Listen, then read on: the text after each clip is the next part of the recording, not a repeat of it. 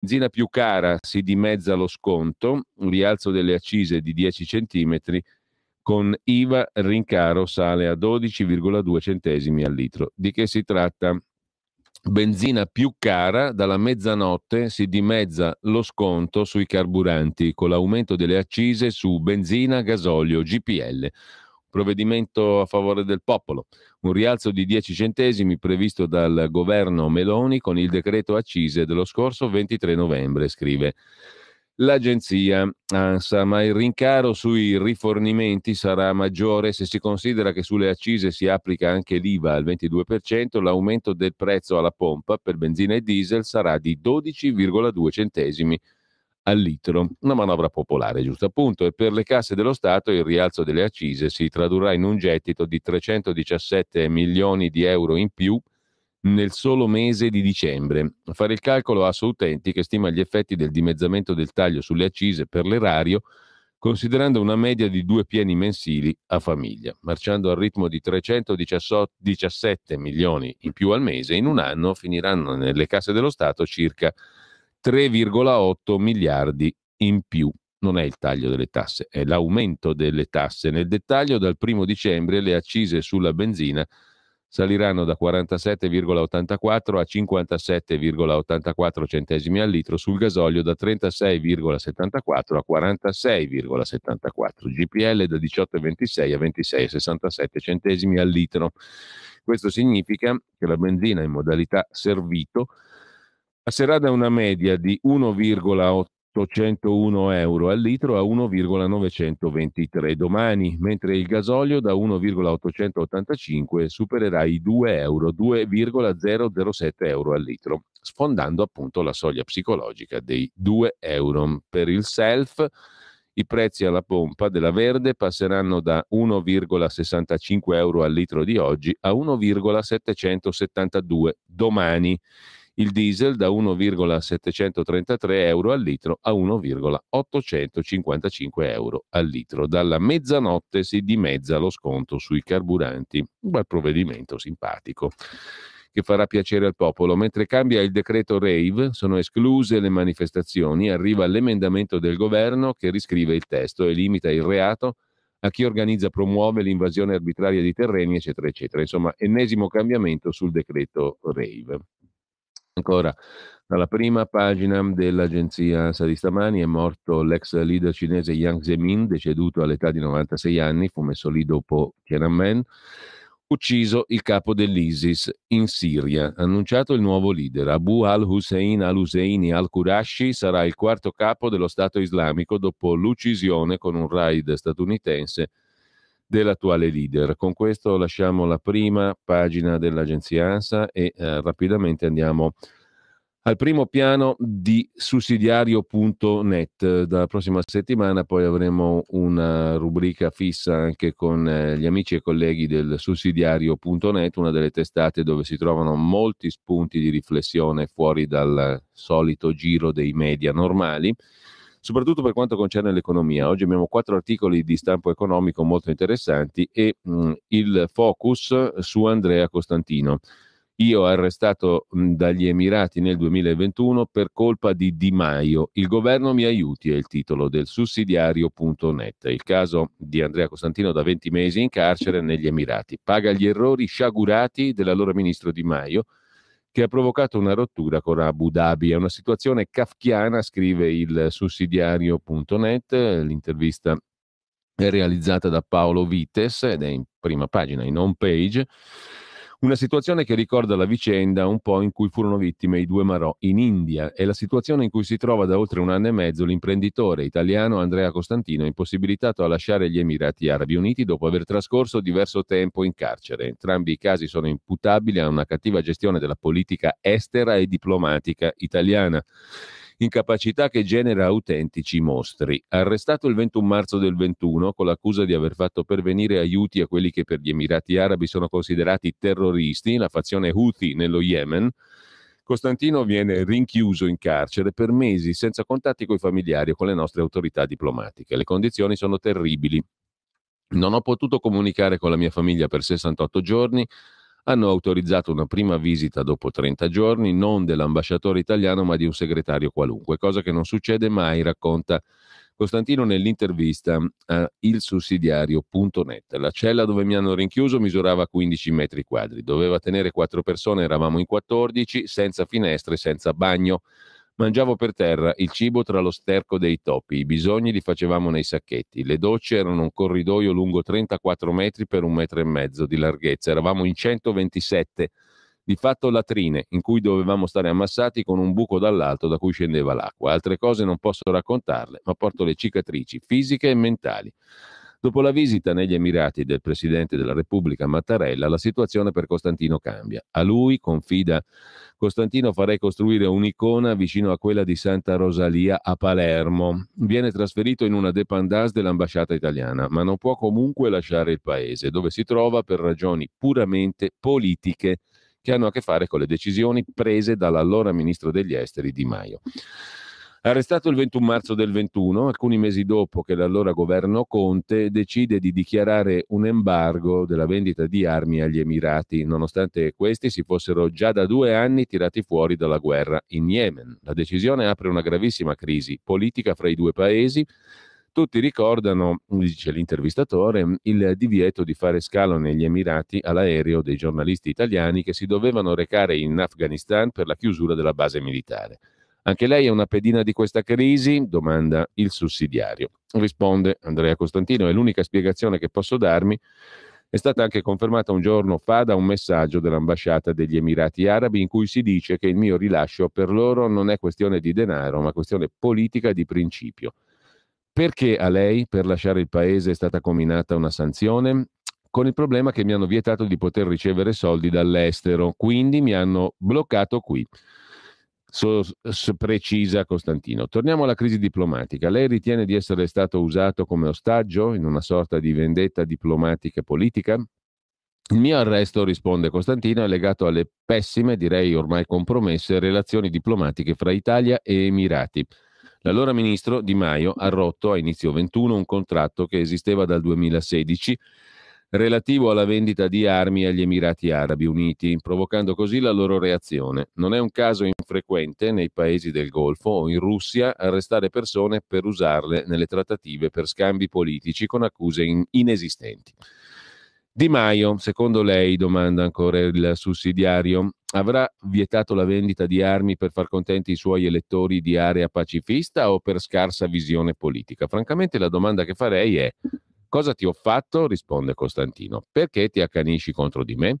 Di Maio, sulla stampa che ho potuto tornare a leggere una volta uscito dalla cella, Viene descritto come un andreottiano, il che farebbe rivoltare nella tomba Andreotti, ma è vero che è un perfetto Doroteo, di matrice democristiana, ha piazzato uomini suoi dappertutto.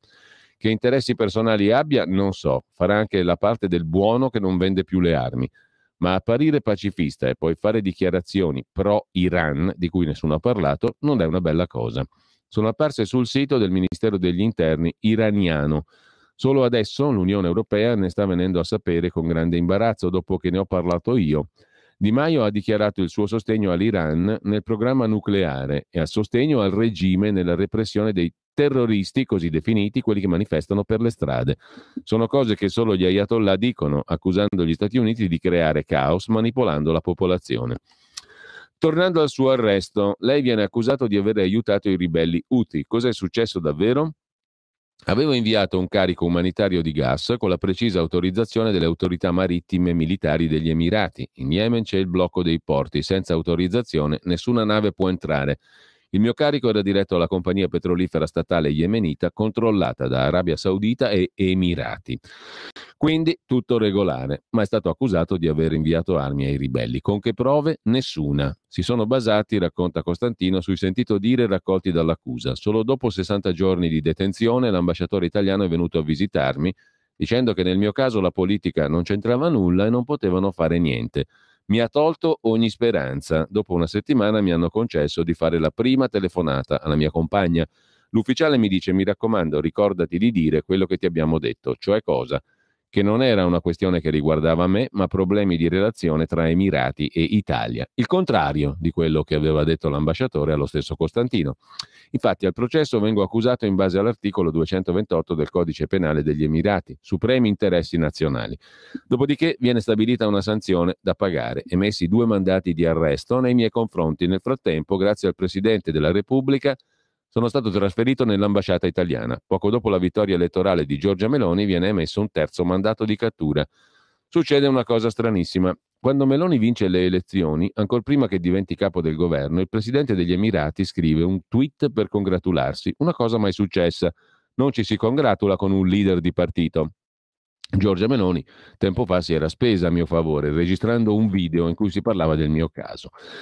Dall'Italia nessun messaggio, ma l'ambasciatore viene richiamato e sostituito, una cosa gravissima che si fa solo in casi molto gravi. Gli Emirati dicono che le relazioni sono cambiate in meglio. L'avvocato mi dice che il capo della procura ha stabilito che posso pagare il 50% della sanzione e essere rilasciato. Chiedo se me lo mettono per iscritto, rispondono di no. Anzi, dicono che se non pago entro due giorni emettono un terzo mandato di arresto. Il nuovo ministro degli esteri Tajani si è fatto sentire? Assolutamente no, risponde Costantino. So che ha telefonato per altri casi, ma non ha sollevato il mio. Con me, con la mia compagna, non si è mai fatto sentire, anzi lei gli ha chiesto un appuntamento. Lui ha fatto dire che non aveva tempo.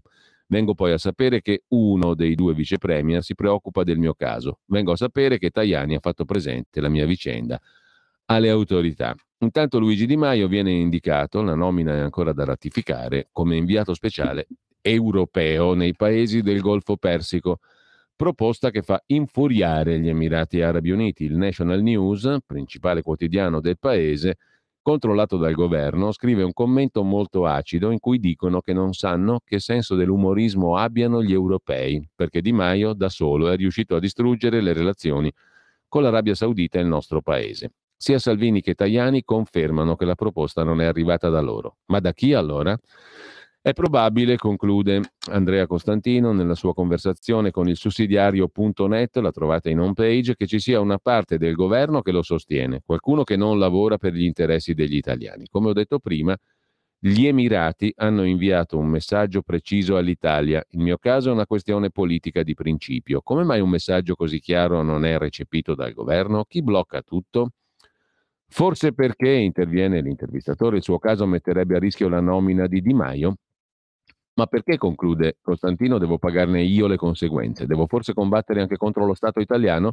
La democrazia non è solo l'esercizio del voto, è anche esercizio della giustizia e della verità. Così su ilsussidiario.net il caso di Andrea Costantino. Ma Velocemente andiamo alle altre notizie di agenzia prima delle prime pagine. Intanto una notizia utile, purtroppo, per molte persone. Alzheimer è stato individuato il vero colpevole della malattia, racconta l'agenzia AGI. I ricercatori di Yale hanno identificato un biomarcatore che potrebbe aiutare i medici a diagnosticare meglio l'Alzheimer e fornire un bersaglio per terapie future. La notizia riportata sulla rivista Nature. E sempre sull'AGI, in tema di Alzheimer, un test attraverso le urine in modo semplice individua la malattia in fase iniziale. La scoperta è stata pubblicata su Frontiers in Aging Neuroscience e secondo gli autori un team di ricercatori cinese apre la strada a uno screening veloce, facile, economico. Le due notizie su questa malattia che purtroppo colpisce molte persone le trovate sull'agenzia AGI in primo piano. Cambiando argomento, sempre sull'AGI, parla per Fratelli d'Italia Fabio Rampelli, deputato sulla questione della manovra e della finanziaria. Ci sono comunque, nonostante la difficoltà di una manovra eh, fatta, di bilancio fatta in una situazione complicata, ci sono i titoli di tutte le principali questioni che sono state eh, declinate nel programma elettorale del centrodestra. la tassa piatta sui redditi incrementali al 15% per incoraggiare le imprese, a crescere, perché sulla crescita rispetto all'anno, all'anno precedente pagano una cifra, diciamo così, simbolica di tassazione. L'aumento sempre della tassa piatta per, da 65 a 85 eh, mila euro eh, l'anno. C'è, diciamo così, la prospettiva rispetto al reddito di cittadinanza di continuare a soccorrere con politiche assistenziali eh, le persone inabili al lavoro, quindi tutti i soggetti deboli, ma contestualmente si dice a chi è abile al lavoro che eh, deve lavorare, lo Stato produrrà occasioni di lavoro. Non è una petizione di principio, perché questa dichiarazione viene accompagnata dal fatto che lo slogan utilizzato in campagna elettorale più, eh, più assumi meno paghi si è trasformato in un provvedimento nella legge di bilancio. Sulle nuove assunzioni non si pagheranno tasse e quindi questo è un incentivo alle imprese ad assumere ed è una politica che produrrà nuovi posti di lavoro, politica che peraltro interverrà anche sulla trasformazione a tasso zero dei eh, contratti di lavoro a tempo determinato per farli diventare a tempo indeterminato. Ci sarebbe molto ancora da parlare, però secondo me questi provvedimenti già delineano diciamo così, la stagione della nuova capacità produttiva dell'Italia. Così Rampelli sulla manovra. Sulla manovra c'è l'intervista anche, torniamo al sussidiario.net, al sottosegretario leghista Claudio Durigon, sottosegretario al lavoro. Chi vuole il salario minimo non può gridare contro i voucher e il nostro reddito di cittadinanza. Quota 103, preferisco chiamarla quota 41, che per la Lega è la soluzione migliore nell'ottica di una riforma previdenziale complessiva. In questa manovra abbiamo fatto solo il primo passo. Reddito di cittadinanza, vogliamo puntare con decisione su politiche attive per evitare che il reddito sia distribuito indiscriminatamente. Vogliamo coinvolgere agenzie per il lavoro, comuni terzo settore, per contrastare la, prover- la povertà e implementare l'incontro fra domanda e offerta. Reintroduzione voucher, turismo e agricoltura l'abbiamo fatto semplicemente perché servono, ce lo chiedono interi settori che hanno lavori stagionali e saltuari, dice il sottosegretario al lavoro Durigon che sintetizza, scrive il sussidiario, la razio che ha spinto il governo Meloni a intervenire su tre temi chiave, welfare, lavoro e previdenza, nella prima manovra che sta per arrivare in Parlamento, partendo dalle pensioni. Non passa anno che non si modifichino le regole di pensionamento. Dal 19 al 21 quota 100, nel 22 quota 102, nel 23 quota 103. Pensione anticipata flessibile, 41 anni di contributi, 62 d'età. Perché questa quota? Per me, risponde Durigon, non è quota 103, ma quota 41. 41 più 62 che poi fa 103, ma ad ogni modo per noi è la soluzione migliore, anche se poi nella formula è stata aggiunta anche l'età. 61, 60, 62 anzi, 41 più 62. Abbiamo iniziato nel più breve tempo possibile un percorso, ma questo percorso inizia a ridosso della legge di bilancio impegnata tra l'altro sull'emergenza del momento, il caro bollette, quindi abbiamo voluto da subito lasciare il segno sulla direzione per non tornare alla legge Fornero con un'altra finestra per uscire dal mercato del lavoro. I passi successivi saranno condivisi con le organizzazioni sindacali e datoriali. L'incentivo a rimanere oltre quota 103 serve ad asciugare un po' il mercato in uscita concentrandolo su persone che non hanno più nulla da dire al mercato del lavoro e consentendo la sostituzione, aiutando le aziende. Punto di partenza è questo qui, sulla questione delle pensioni. Tutto il resto mm, l'abbiamo riassunto prima. A proposito di interviste, c'è da segnalare sul Messaggero di Roma l'intervista a Matteo Salvini centrata sulla capitale, su Roma. Modello Genova anche per l'Expo 2030. Una capitale, dice Matteo Salvini, deve vivere di grandi eventi internazionali.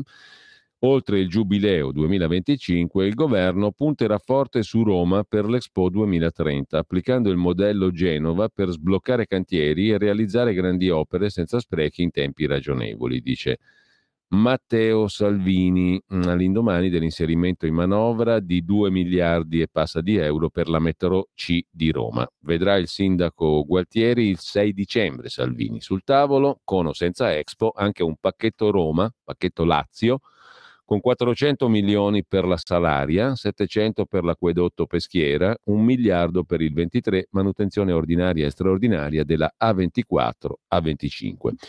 Su questi temi prettamente romani l'intervista al messaggero di Roma, giusto appunto.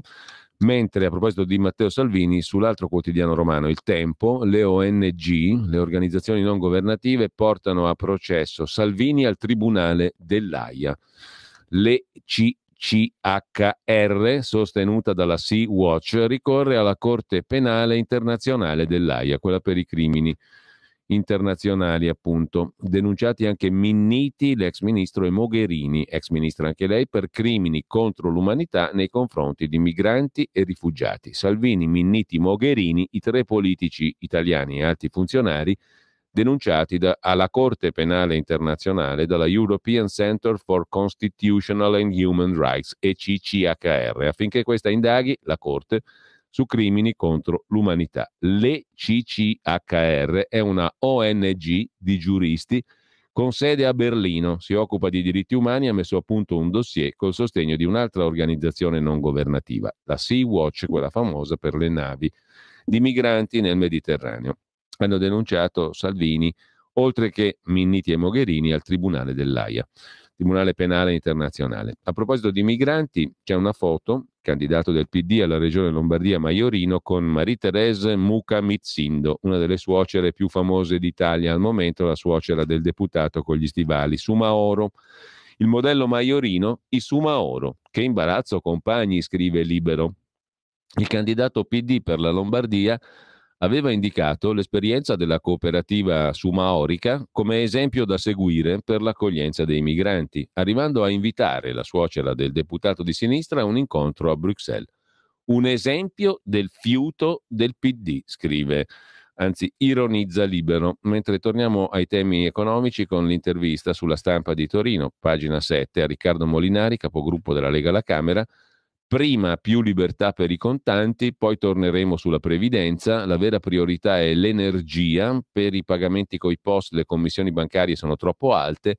Rate per le cartelle sopra i 1000 euro perché la gente non può pagare. L'impianto della legge di bilancio è giusto, dice Molinari, i margini di correzione sono stretti, le risorse a disposizione sono poche. Il grosso è stato messo per il caro energia. C'è sempre qualcosa da migliorare non ci soddisfa il capitolo pensioni. Era importante riconfermare Ape Sociale, opzione donna. Abbiamo dato un segnale sulla Fornero con anticipo di quota 41 per 50.000 pensionandi. Nel programma avevamo quota 41 per tutti, ma per esigenze di bilancio non ci si potrà mettere mano adesso.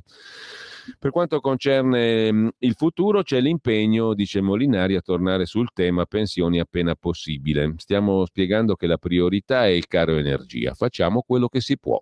Le opposizioni definiscono questa una manovra pro evasione a partire dal tetto contante alzato a 5.000 euro. Non c'è legame tra aumento della soglia del contante e l'evasione, è una questione di libertà. Obbligo di POS per i pagamenti sotto i 60 euro tolto.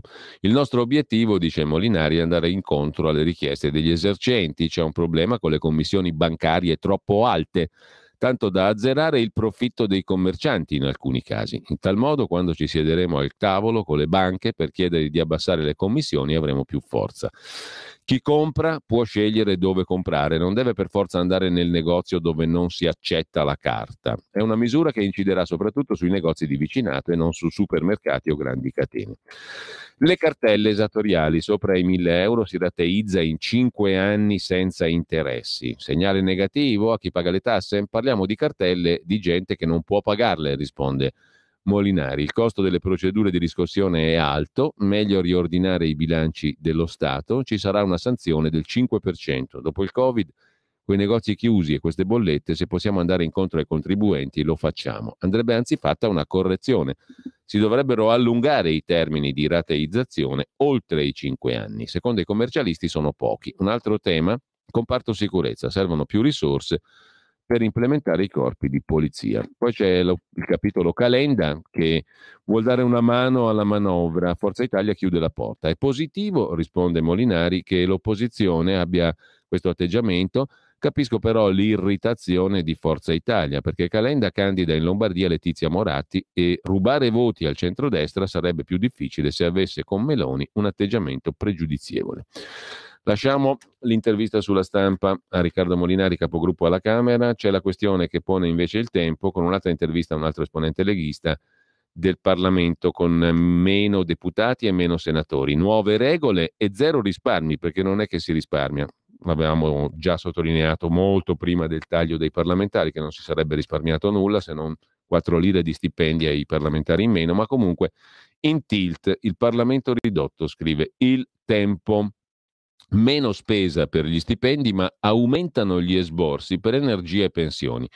Al Senato commissioni omnibus, al lavoro anche durante le discussioni in aula. Insomma, il taglio dei parlamentari rischia di essere un gran bel caos. E su questo tema si eh, esercita eh, Claudio Borghi Aquilini, o meglio si pronuncia in un'intervista a pagina 3 del Tempo di Roma, non sarà con noi oggi in diretta proprio perché i, lavori parlamentari si sono incasinati e quindi c'è una convocazione di commissione, insomma in poche parole avremo una registrazione del, di un intervento di Claudio Borghi Aquilini su questo tema, il taglio dei parlamentari. Slalom tra sedute, così è impossibile fare il senatore, dice Borghi al tempo di Roma di stamani. Democrazia dequalificata. Non è stato un grande affare seguire i grillini sul taglio dei parlamentari. Io sto in commissione bilancio, Copasir, sostituisco Calderoli alle politiche agricole. Come posso analizzare e studiare tutti i provvedimenti?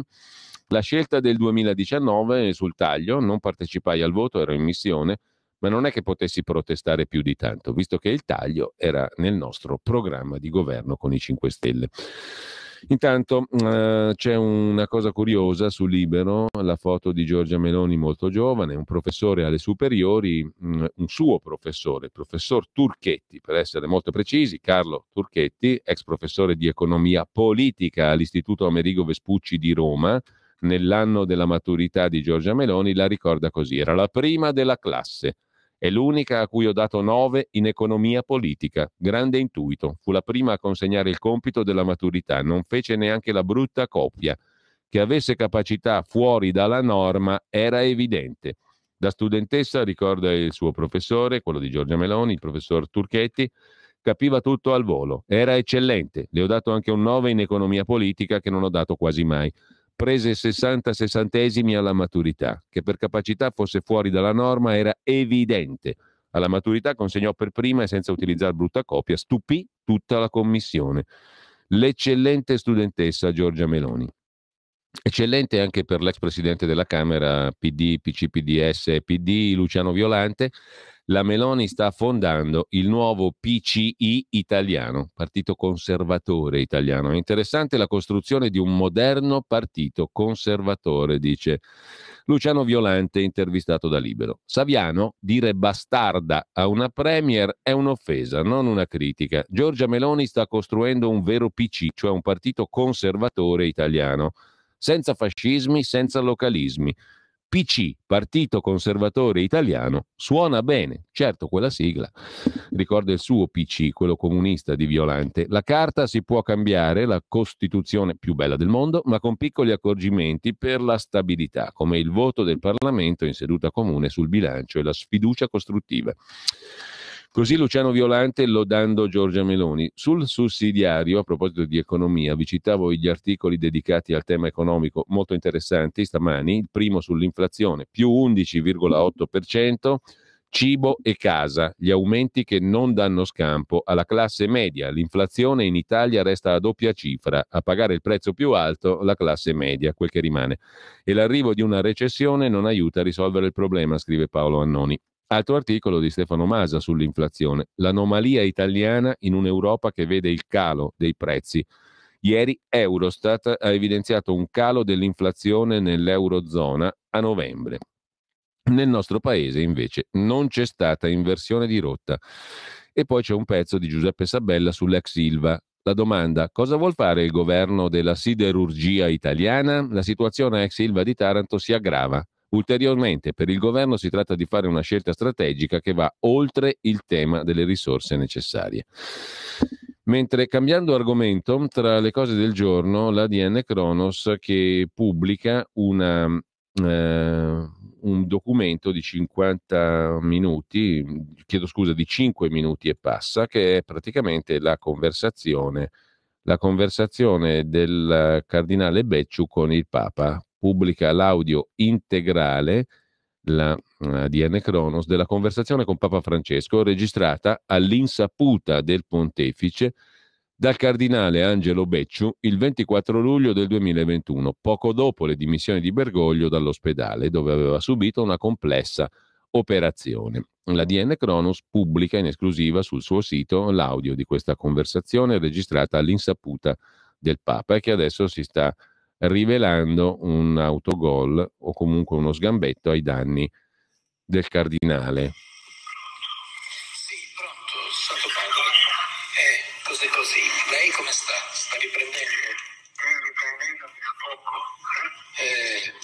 Vabbè, potete ascoltarvela sul sito della DN Kronos, ehm, anche questa è una novità, un segno dei tempi, diciamo così.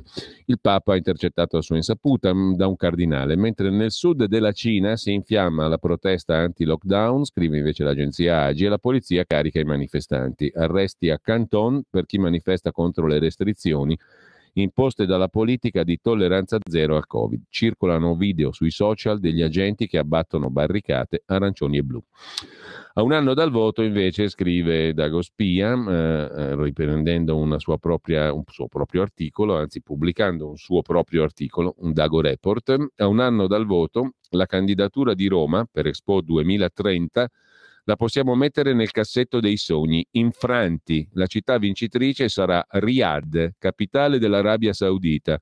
Oltre a un patrimonio personale di 550 miliardi cash, MBS, Mohammed bin Salman, si avvale dell'opera di un senatore della Repubblica Italiana, tale Renzi Matteo, nel ruolo di conferenziere, ma in giro per il mondo a delucidare il rinascimento arabo. Sia chiaro, Renzi non viola alcuna legge facendo parte del consiglio di amministrazione del board di un ente finanziato dal Fondo Sovrano Saudita. Trattasi solo di un fatto di opportunità per un ex premier oggi senatore, quindi rappresentante apicale delle istituzioni italiane, e di Bin Salman coinvolto nel caso dell'uccisione del giornalista saudita Khashoggi. Sentite cosa rispondeva Matteuccio nel 2021. Segue l'intervista al Renzi d'Arabia. E sempre su Dagospia, un lancio di agenzia ANSA, il caso della raffineria di Priolo in Sicilia, col greggio alla gola, il governo sta studiando il modo per salvare la raffineria ISAB di Priolo di proprietà della russa Lukoil che rischia la chiusura per via dell'embargo europeo al petrolio di Mosca il 5 dicembre. L'ipotesi è inserire le raffinerie tra le infrastrutture critiche di rilevanza strategica nazionale con la possibilità di porle in amministrazione fiduciaria temporanea. Un bel po' della benzina che circola in Italia viene da lì.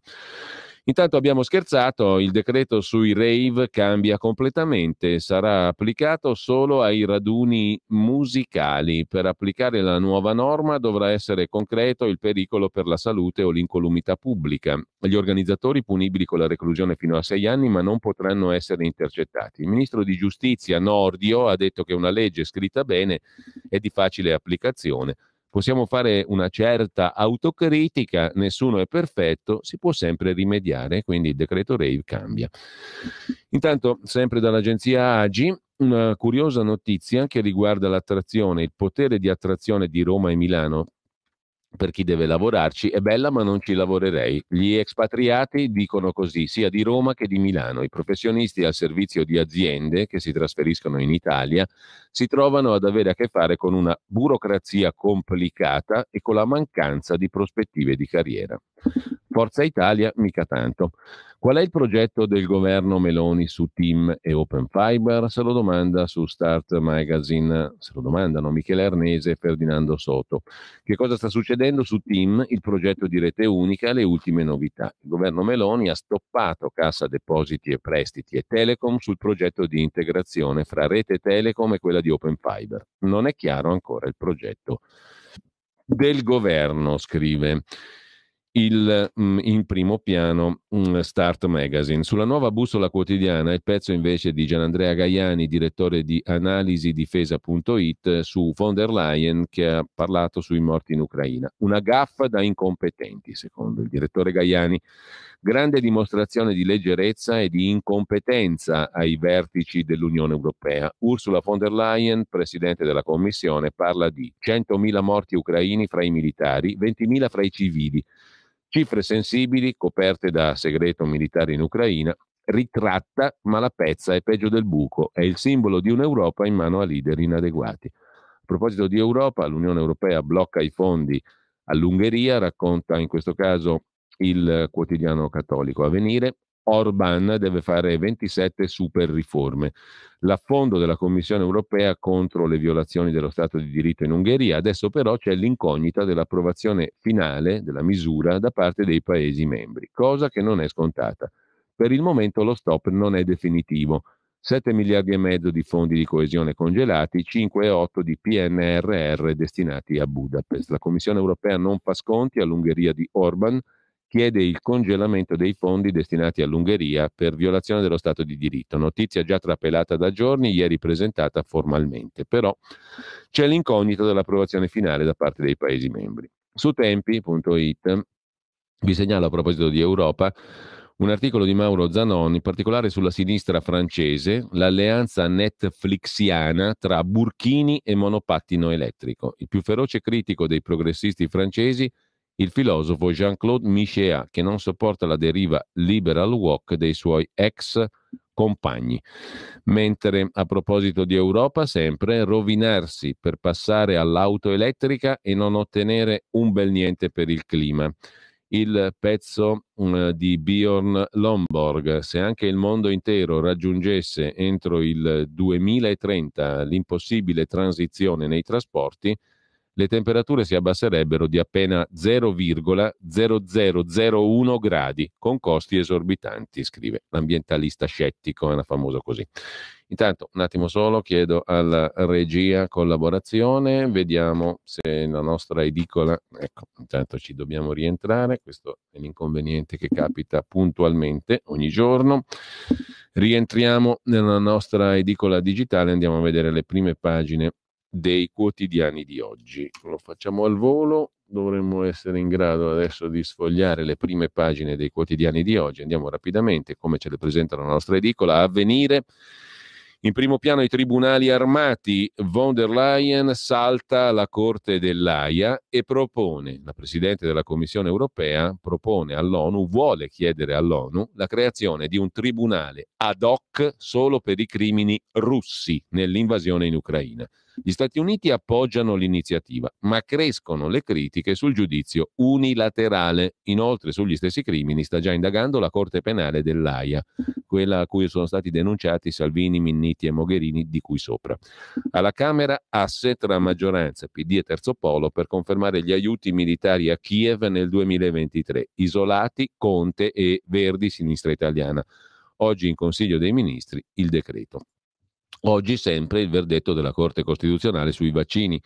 C'è attesa per il pronunciamento della consulta dopo l'udienza Fiume per i dubbi di costituzionalità sollevati da 11 ordinanze relativi al decreto 44 del 21 che ha introdotto l'obbligo vaccinale. Da oggi scattano le multe per gli inadempienti. Il giudizio della Corte però può avere effetto anche su queste. Poi c'è un emendamento Lega per congelare le eventuali multe a chi non si è vaccinato sopra i 50 anni. Mentre dalla prima pagina di Avvenire c'è anche la questione dei profughi dalla Libia. Piantedosi rilancia i corridoi umanitari insieme al ministro Tajani. C'erano anche i ministri Piantedosi e Tajani ieri all'aeroporto di Fiumicino ad accogliere 114 rifugiati provenienti dalla Libia grazie a corridoi umanitari, strumento a cui il ministro Piantedosi plaude. La questione delle pensioni, opzione donna, ma anche il POS e il PNRR sono le incognite sulla manovra, scrive Avvenire in prima pagina. Vediamo la prima pagina del Corriere della Sera, sui fondi europei l'allarme del governo. Il governo è convinto che si debbano rivedere tempi e costi per la realizzazione del PNRR, fondi europei giusto appunto, pesa l'effetto dell'inflazione sugli interventi programmati. E ieri sono usciti allo scoperto diversi ministri. Nel giorno in cui a Roma sono arrivati i tecnici del PNRR della Commissione europea a vigilare come l'Italia ha programmato le cose. La previsione di spesa di 22 miliardi entro fine anno è molto lontana, ha detto il ministro Fitto. Intanto dalla maggioranza apertura a Calenda, valutiamo ogni proposta. Ironico Salvini, a Calenda diamogli un cantiere, dice il ministro Salvini. Sempre dal primo piano poi del Corriere della Sera, il decreto sulla scia di Draghi per la fornitura di armi all'Ucraina. E, ehm, il pezzo di Ernesto Galli della Loggia sulle scelte del PD, la difficile identità a sinistra e tante altre belle cose. Mentre sempre in prima pagina sul Corriere della Sera i dirigenti della Juve intercettati ci siamo messi in una situazione di calciopoli. E un'inchiesta archiviata a Milano, professori e concorsi truccati per il pubblico ministero non è reato. Concorsi truccati all'università non è reato. La cooptazione a Milano il pubblico ministero chiede di archiviare 38 docenti indagati nel 2014, viva la giustizia veloce, a Bari, tra cui l'attuale ministro dell'università Bernini. Per il GIP invece è reato, ma è intervenuta la prescrizione. A proposito di reati, andiamo al fatto quotidiano. 734 milioni tolti ai poveri per darli agli evasori. È il titolo d'apertura Italia sotto sopra, i risparmi sul reddito di cittadinanza coprono i costi del condono. Manovra piena di tagli, denuncia il fatto. Miliardi in meno per i pensionati e la sanità, zero euro agli statali, ma un miliardo e sette per i furbi si trovano.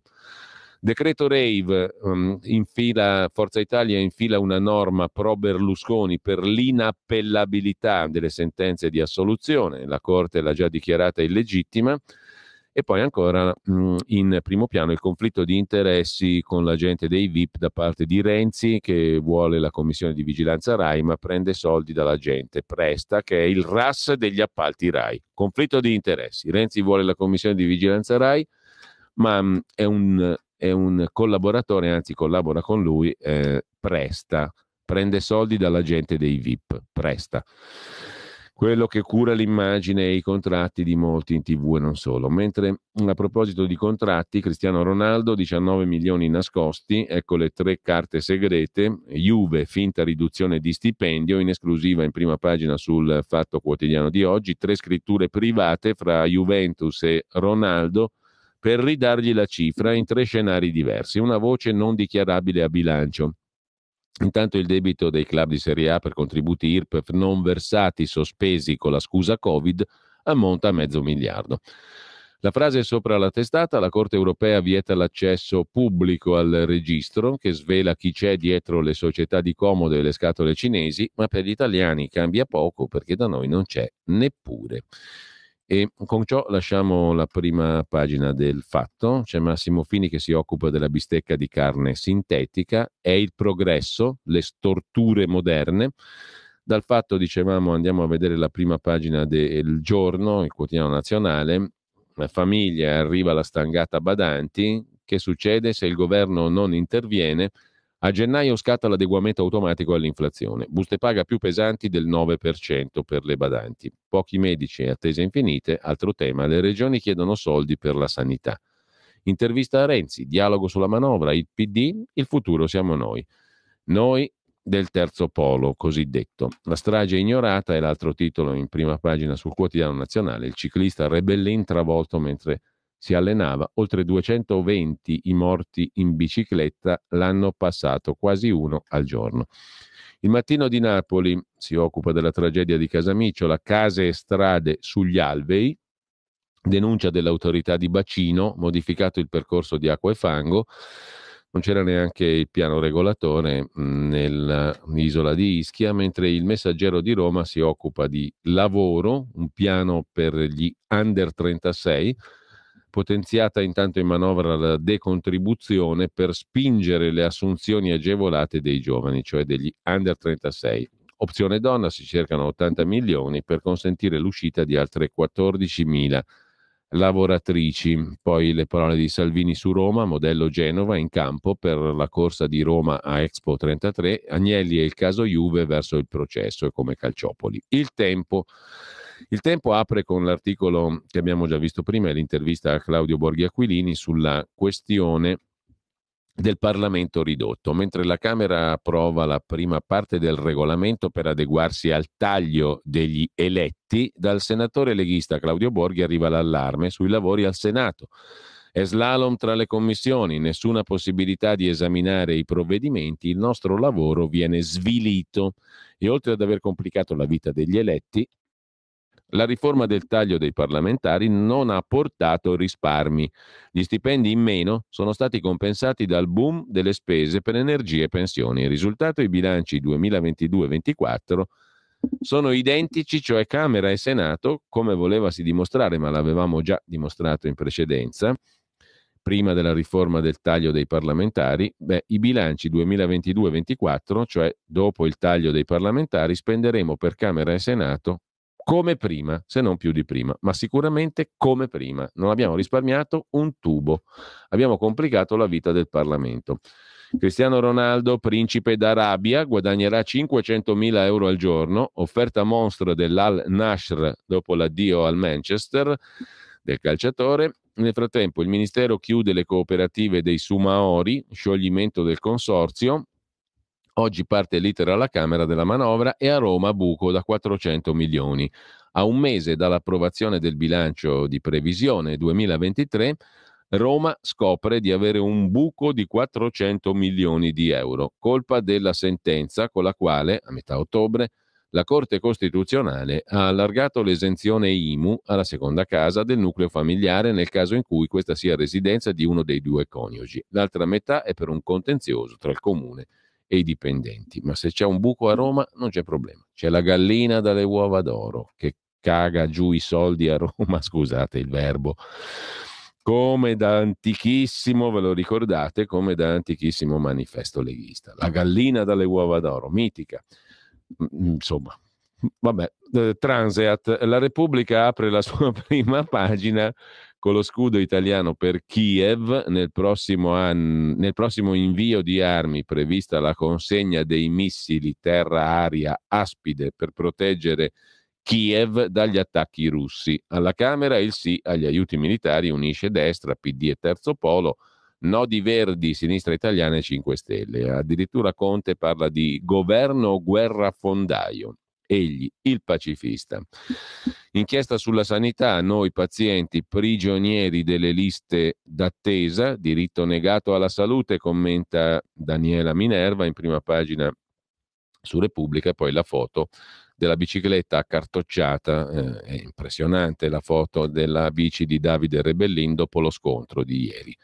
È morto il campione ciclistico, la bicicletta è veramente conciata in maniera incredibile, accartocciata, mh, mm, ridotta a una ruota sopra l'altra. Eh, lasciamo con ciò la prima pagina di eh, Repubblica, andiamo alla stampa. Il governo non tocchi il reddito, per fortuna esiste Robin Hood. Oggi il titolo dell'articolo di Marco Travaglio è Robin Hood scritto proprio al contrario, no? con le lettere una mh, mm, dopo l'altra a formare la parola al contrario. Ebbene, eh, c'è un Robin Hood che difende i poveri, per fortuna, ed è non ci crederete, l'amministratore delegato di Banca Intesa San Paolo, Carlo Messina. Il reddito di cittadinanza non va toccato, dice Messina, intervistato dalla stampa. Bisogna aiutare i poveri e chi paga il prezzo più alto della crisi. Guardate che è vero, eh? non è Cuore che è stato ripubblicato dopo tanti anni che è tornato in vita il mitico settimanale satirico dell'unità. No, no, no, eh, è esattamente la stampa di Torino di Torino. Si fa per dire perché chi controlla la stampa è Repubblica, cioè Gedi, ha la sede fiscale poi in Olanda e paga poche tasse là. L'azionista di maggioranza Gedi, che edita stampa, Repubblica, i quotidiani locali, le radio, controlla, eccetera, eccetera, poi paga le tasse in Olanda. Giustamente, loro la flat tax se la sono già fatta. Poi il popolo bue non può averla, la flat tax, cioè pagare meno tasse. Il popolo no, loro sì compreso anche De Benedetti, cittadino svizzero naturalmente, ex proprietario dell'intera baracca. Comunque, al di, là di, que- di là di questo, non è che sia un dettaglio, perché chi ti predica che tu non puoi, ma io posso, non è simpaticissimo. Io posso, c'è chi può e chi non può, come diceva Alessandro Altobelli, ve lo ricordate? Il centravanti dell'Inter e della Nazionale. C'è chi può e chi non può, io può. Così dicono in molti, in molti in pochi ma che pesano molto in Italia. Comunque, al di là del, del governo, no, non tocchi il reddito. Per fortuna c'è un Robin Hood, Carlo Messina, amministratore delegato di Banca Intesa San Paolo, che difende i poveri in Italia e non solo. Priorità ai poveri, dice Messina alla stampa di Torino a quei poveri, quei poveracci della Gedi che edita la stampa di Torino. Investire in titoli di Stato i capitali che rientrano E poi non tocchi il reddito di cittadinanza, questo nuovo governo di fascisti, mentre sempre dalla prima pagina della stampa nuove armi all'Ucraina, questo l'abbiamo visto, la politica ci dica se vuole il recovery fund, Marcello Sorgi sul PD e i 5 Stelle che aiutano Giorgia Meloni. Meloni è riuscita a trasformare il dibattito sugli aiuti all'Ucraina in occasione per ricompattare la maggioranza. Perché PD e 5 Stelle fanno i pacifisti, dicono no alle armi e ricompattano Giorgia Meloni. Eh, però, tuttavia, scusate la ripetizione dell'avversativa, l'occhio cade e il cuore pure, ma anche diciamo l'amore per la lingua italiana e per la sintassi sul pezzo di Concita De Gregorio. C'è poco da fare. In prima pagina sulla stampa, quando, quando l'occhio vede quella firma lì, il cuore comincia e anche la mente cominciano già a godere. Di che cosa? Anche del piacere proprio sintattico, della lettura. Sapete i giovani, quelli che non vanno a votare, non leggono i giornali. Allora, quelli che non vanno a votare non leggono i giornali, virgola, che secondo come cambia la politica sono bamboccioni sdraiati sul divano di mamma o mangia pane a UFO che sarebbe ora si cercassero un lavoro invece che pretendere il reddito paghetta di governo? Tutto senza una virgola, perché la virgola ce l'ha già messa dopo i giornali. Quelli che non vanno a votare non leggono i giornali. Tra non vanno a votare e non leggono i giornali, la virgola non c'è. Alla fine sì. Quindi è una sintassi veramente. Il professore de, vabbè che era di economia politica e non di italiano, ma il professore della Meloni non darebbe 9, credo, a questo articolo. Eh. Presumo, presumo, io gli darei 10 e lode perché è una roba oltre la sintassi. Per parafrasare Nietzsche, al di là della sintassi. Quelli sì, di cui tutti parlano e nessuno sa dove siano, virgola. A parte certo lì, a fare battaglie, senza virgola, a fare battaglie online al computer, tumulati in cameretta o a bere dalle bottiglie e fumare sugli scalini delle statue in piazza la notte, virgola, sgomberare, virgola, forza sgomberare, trattino, annuncia la New Wave al potere? Punto di domanda. Ma voi ci avete capito qualcosa? No, adesso ve lo rileggo.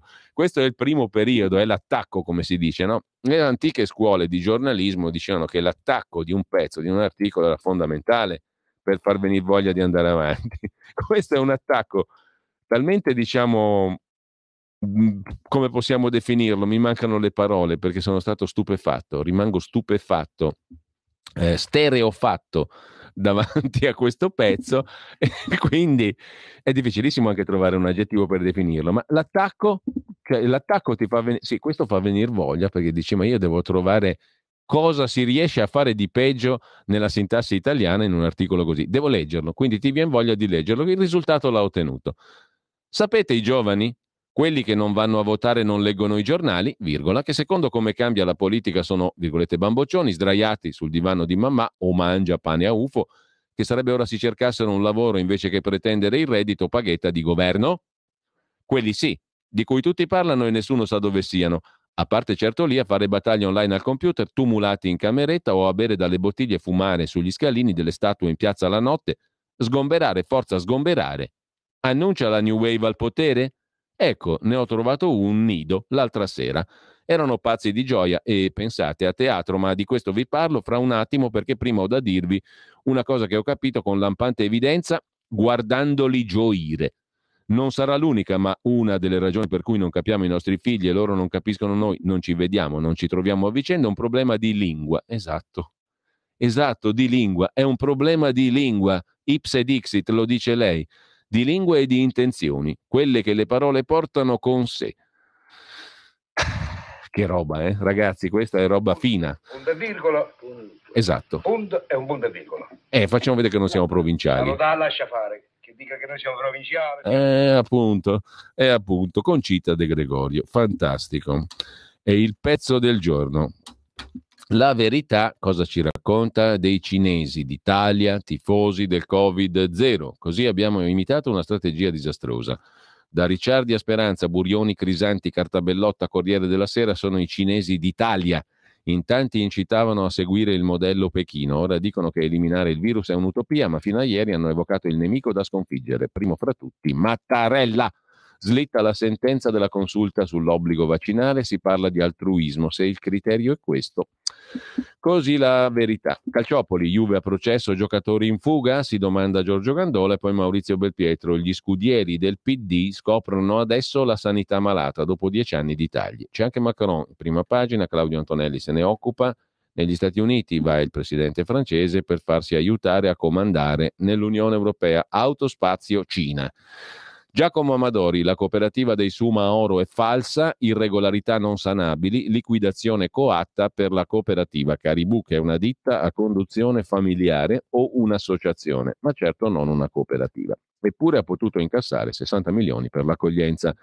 La Camera spinge il governo, allontana il ricatto del MES, titola ancora la verità, Martino Cervo in prima pagina, stoppa la riforma del meccanismo salva stati, per il momento eh, il governo ha detto no al meccanismo europeo eh, salva stati, il MES, giusto appunto una sorta di prestito, anche quello un cappio di prestito per il governo italiano, cittadini italiani, e infine, Agenzia delle Entrate bastonata dal TAR perché viola logica e regole. Ma 3.900 assunzioni verranno fatte dall'Agenzia delle Entrate, questo ce lo racconta Italia Oggi tra poco.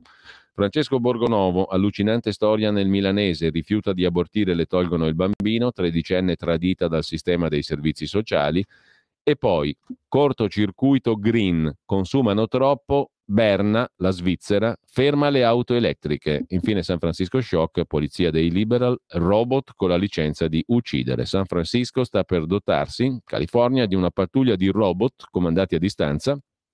Potranno essere fatti esplodere in situazioni critiche per sventare un crimine, modalità simile all'uso dei droni che apre gli stessi dubbi etici.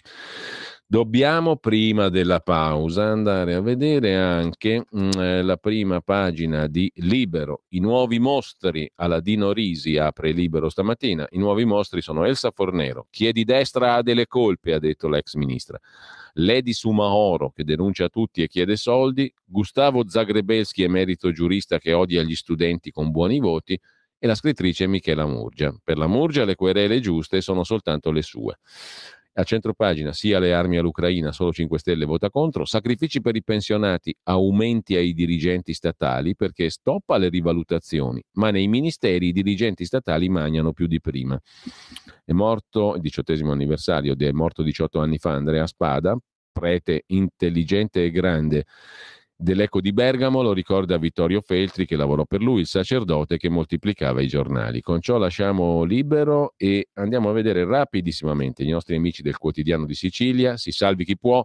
Ischia è solo l'ultima di una serie di tragedie annunciate, scrive QDS. L'Italia è una bomba orologeria con un territorio estremamente fragile.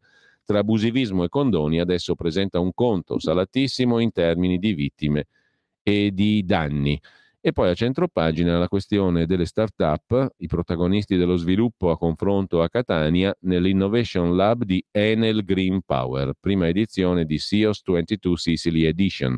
Grande attesa per la tecnologia della nascente Gigafactory.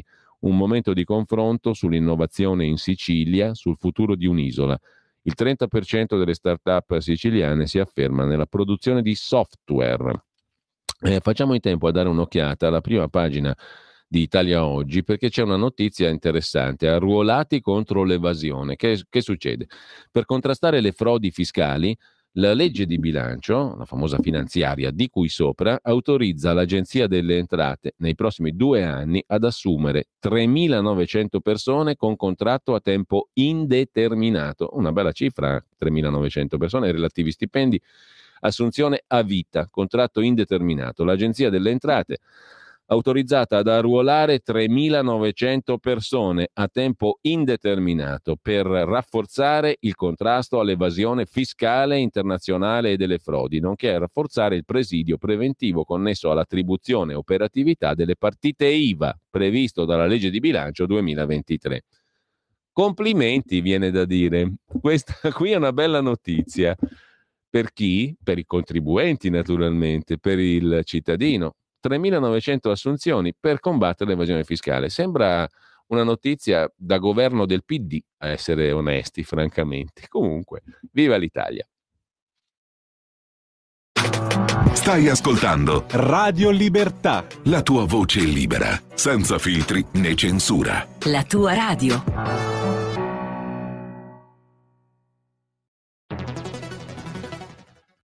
C'è chi te la racconta sbagliata e chi te la racconta